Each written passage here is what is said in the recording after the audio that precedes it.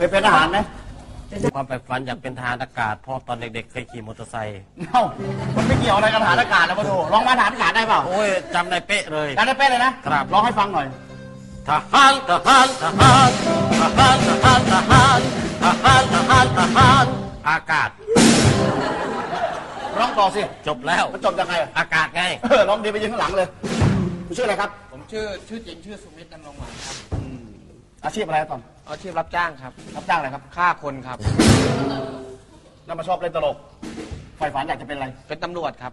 ลองมาตำรวจได้เปล่าเป๊ะเลยครับ ลองให้ฟังหน่อย ซ้ายขวาซ้าย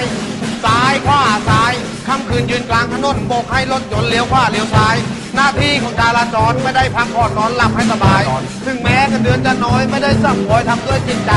รถยนต์ให้จอดด้านขวามอเตอร์ไซค์ เดือนไม่พอตั้งด่านเราก็ได้